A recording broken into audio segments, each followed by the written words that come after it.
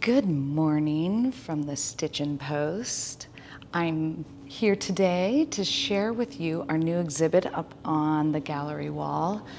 And it's a super, super cool collection of quilts.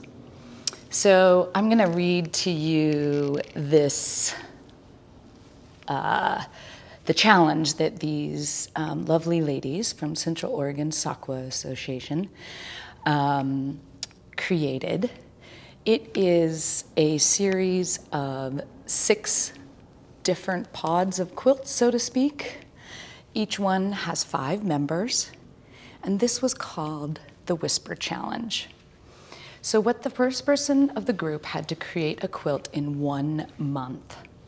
They had a blank slate, able to create whatever they chose with the stipulation of 18 wide by 30 in length. At the end of the month, they passed this quilt on to the next person in line. And the whole point was to be super quiet about it.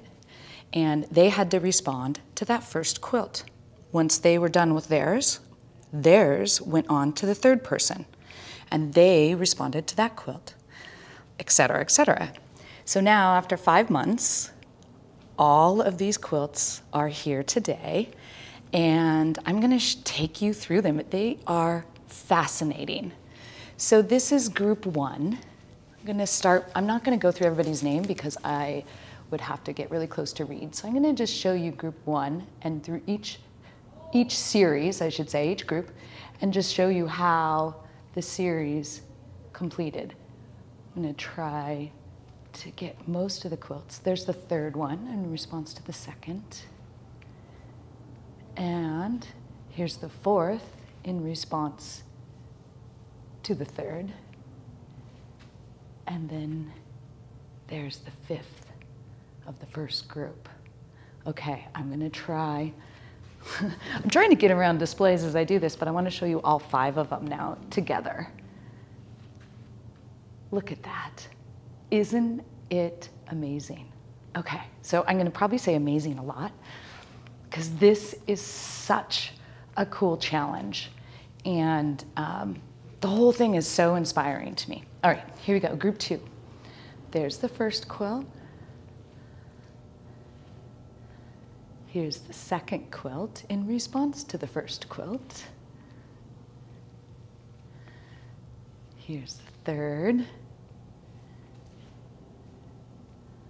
The fourth. And finally, Okay, I'm gonna see if I can get around this display. Show you all five. Isn't it so fascinating? I love seeing how the colors and morph and, and change based on each person's response. Okay, group three. There's the first quilt. Great color palette. Here's the second quilt. I love that one too. All right. Oh, look at, there's the third. There's the fourth. And the fifth. All right, here we go. Let's get back and see all five of them. Wow. Okay, I'm going to scoot down now to group six as we're going along here. Okay, here we go. Group six, first quilt. It's fascinating. Second, third. You see such diverse personality and style Yet, as these all come together, it is really, really beautiful. Here we go. That is group six. So cool. Okay, now I'm gonna go down. We're gonna scan across the top so you don't see the ones that we haven't seen yet. Here we go. Okay, group five. Here we go. Look at this. Isn't that yummy? First quilt, second quilt, really neat. This third. And the fourth. And the fifth. Just fascinating. The development of color in that group, I think, is just really interesting. All right, moving on to group four, last but not least. Here we go. All right. Here is the first one. Lots of cool stitching on that. Here's the second one. And a response from the third. Fourth. And the final one. All right, here we go. Pulling back. I think about how this challenge also was going on for them all during the past five months.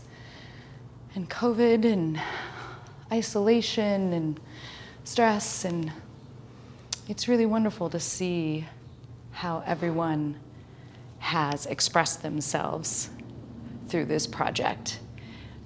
And we're super honored to have it here at the Stitchin' Post. If you happen to be in town, come by and check it out.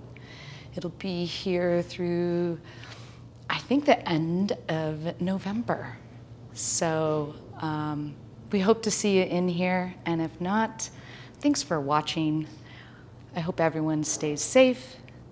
And as we are rounding the corner of our election, please remember to vote. Your voice matters. We matter. Anyway, have a great day, everyone.